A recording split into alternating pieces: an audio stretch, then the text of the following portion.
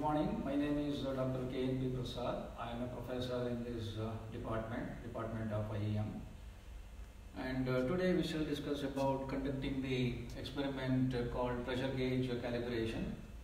So the name of the experiment is pressure gauge calibration and uh, aim is to calibrate the given uh, uh, pressure gauge. So the apparatus that we are using here is the pressure gauge and uh, the standard weights. So pressure is basically defined as the load divided by area. It is measured in newtons per uh, uh, meter square.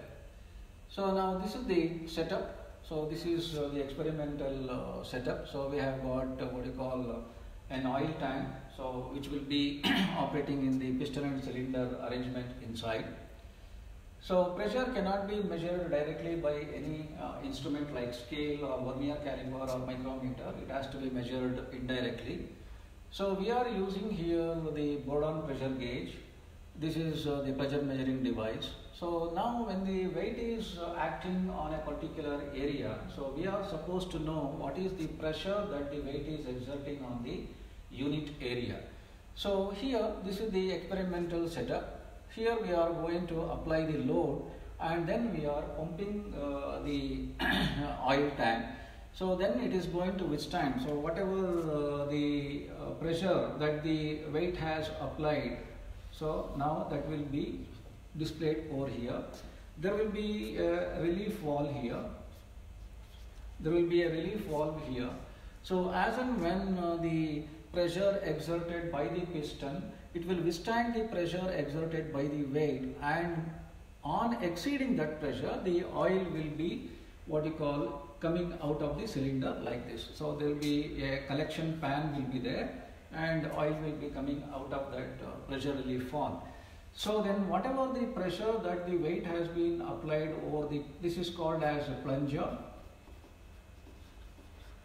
So whatever the load that has been applied over this uh, area of this plunger, so will be reflected by the pressure gauge. So now this is the, we will explain how uh, the exper experiment is to be conducted. So this is the tabular column. This is the tabular column. So serial number, actual pressure. So we are using standard weights here. So where uh, each and every weight is equal to 180 A. So that is called as 1 kg per centimeter square. It will be converted into Newton per uh, meter square. Now against the applied load of 180A, so then this will be 98.1 uh, Newton per meter square. So what is the indicated pressure? As I told you in this experiment, whatever the load that we have applied will be balanced by the oil here and that pressure that has been exerted on the oil will be supplied to this Bourdon pressure gauge and the needle will move and then indicates what is the pressure that has been applied by the standard weight. That is the calibration that we are carrying out here. So now in this uh, experiment, so we have applied the standard weight of 1 kg force per uh, centimeter square and then what is the pressure that is indicated by the Bourdon pressure gauge that we are find, trying to find out. Now let us say it has been about 96.7, uh, sorry, here it is 96.7 Newton per meter square and then the error will be actual pressure minus this is the actual pressure actual pressure minus the indicated pressure is the amount of error with respect to the applied pressure of known weight and then the indicated pressure by the Bourdon pressure gauge. Now the percentage error is calculated as actual pressure minus the indicated pressure divided by the actual pressure multiplied by 100. Now with respect to this we are going to draw the graphs like this. So first one is indicated pressure against the actual pressure. So always the standard will be on the x-axis and the variable will be on the y-axis. So now uh, against the indicated pressure because we know uh, in this experiment we know the actual uh, pressure that has been applied and against this applied actual pressure what is the indicated pressure. This is called as the calibration curve. Now in practicality we will not be knowing what is the actual uh, pressure. So therefore in order to find out what is the actual value of the pressure that has been applied So we take the horizontal line like this and we'll drop it uh, to the x-axis. So where we will find what is the actual value of the indicated pressure. So that is called as this thing. And now if we want to find out what is the percentage error with respect to the actual pressure that has been measured. So we will be drawing a graph of percentage error versus the actual pressure. So when we uh, know what is the actual pressure, we are supposed to take what is the percentage of error that it has to be added. So in the experiment, if we know uh, this is called as the percentage error graph. So this is the amount of percentage error that is present in the equipment. So for the actual pressure of uh, let us say uh, 10 Newton per uh, meter square, then what is the amount of uh, percentage error that you must add up in order to get the real value of the this thing. So or the indicated value. So this is about the experiment. So where we will be conducting the experiment against the actual pressure. We find out the indicated uh, pressure and then we are going to uh, draw if this is uh, uh, 0.96. So this is the indicated pressure by the Bourdon pressure gauge and then we are trying to find out the error and then the percentage error and with these two we are going to draw the graph of this one to find out what is the calibration curve for the given pressure gauge. This is the experiment that we are supposed to conduct here and this is what you are supposed to learn in carrying out the calibration of the pressure gauge. Thank you. Now we are going to conduct an experiment on pressure gauge.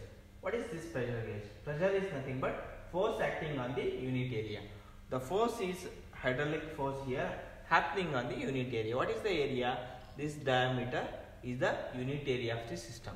First, uh, we should know what all are the observations should be taken and uh, what is this uh, type of uh, pressure gauge we have. So here we have a Bourdon tube pressure gauge. So uh, whenever an uh, pressure occurs here and Bourdon tube will uh, pull your ratchet and the reading will come here. Here we have a kg per centimeter square and a pound per inch square. Two scales are given here. So he is telling symbolically kg per centimeter square. The outer scale reading is kg per centimeter square and inner is uh, inches per uh, sorry uh, pound per inch square he is given on here. So how to find this? So the force acting on this uh, unit area of diameter has to be taken. So they symbolically mentioned here 180A. What is 180A? 180A is nothing but 1 kg per centimeter. So what uh, the systems we have means we have a cylinder. This cylinder is filled with the oil. This oil uh, I am going to lock this uh, hydraulic valve So I am just locking this hydraulic valve So whenever you give a pressure to your cylinder, whenever cylinder is pressurized by giving a pressure system, so you can see this a pressure is going to push your uh, plunger and your weight will be lifted. The amount of uh, pressure required to lift this area is mentioned here. The actual weight applying on here is 180 1 kg per centimeter square here. And what is the measured reading here? It's mentioned 0.9 kg per centimeter square. So actually we applied 1 kg per centimeter square here. But in the reading it's showing 0.9 kg per centimeter square. Similarly we have to find what is the value going to occur when you apply 2 ATA see this? I'm releasing this valve again. I'm releasing this valve. This is 180 already applied here and I am going to apply one more kg per centimeter square. Now what is the actual reading here is 280 2 kg per centimeter square already here. So now I am going to apply the load I lock the hydraulic system.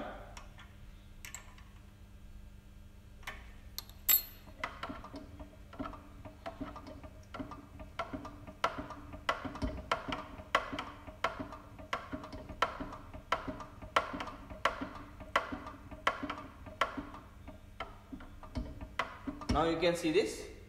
It has been lifted here. So it's giving 1.9 kg per centimeter square. Actually, you applied 2 kg per centimeter square, but it is showing in between the 1.8 to 2. See, you can see this. So, how much for the each reading? This is 0, 0.2, 0.4, 0.6, 0.8, 1 kg per centimeter square. 1.2, 1.4, 1.6, 1.8, 2 mm. In between the 1.8 and the 1, uh, 2 it is there 1.9 kg per centimeter square it is showing. Okay. So like that uh, if you apply I am releasing the valve now. If you apply 3 kg per centimeter square this is uh, mentioned here. This is 2 ATA here. This is 2 ATA already 1 ATA is applied on here. I am applying a 3, 3 kg per centimeter square. Now what is the what is the actual value I am applying 3 kg per centimeter square what is the measured value we are going to take? You can see this. Slowly the needle is rising in a Bourdon tube.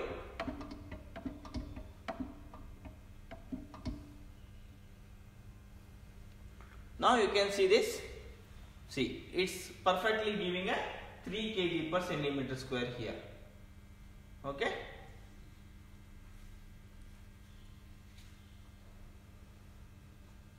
now 3 kg is over. 3 kg per uh, centimeter square is over. Now i'm going to apply 4 kg per centimeter square. 1 k 180 is here 280 is there 2 plus 1 3 and another one already applied 480 is there.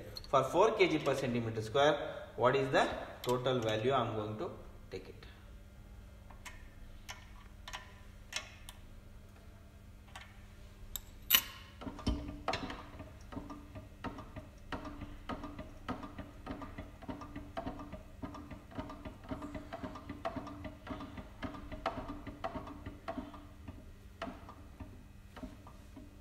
I have been applied. See this? 480 I applied there 4 kg per centimeter square in Bourdon tube also. It's showing 4 kg per centimeter square here. Now now I apply. How much? 5 5 kg per centimeter square I will apply.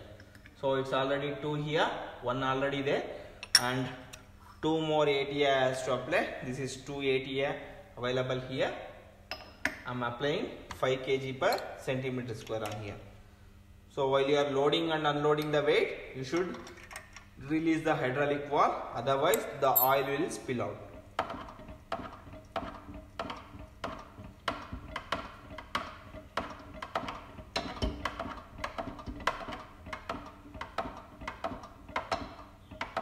Note down the readings without fail. I applied 5 kg per centimeter square here. It's showing 5 kg per centimeter square in a Bourdon tube. Okay. Now, if you want to apply 6 kg per centimeter square,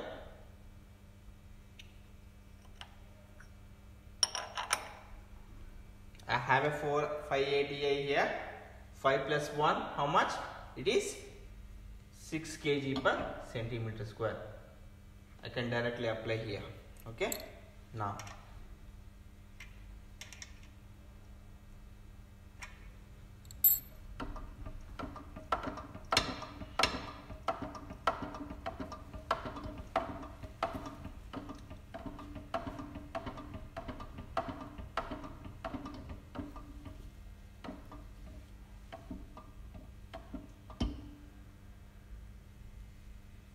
Now you can see this. It's showing 6 kg per centimeter square perfectly. You applied 680 here. It is nothing but 6 kg per centimeter square. Reading also showing 6 kg per centimeter square. So the, now you have noted down all the readings. 1 kg per centimeter square like this.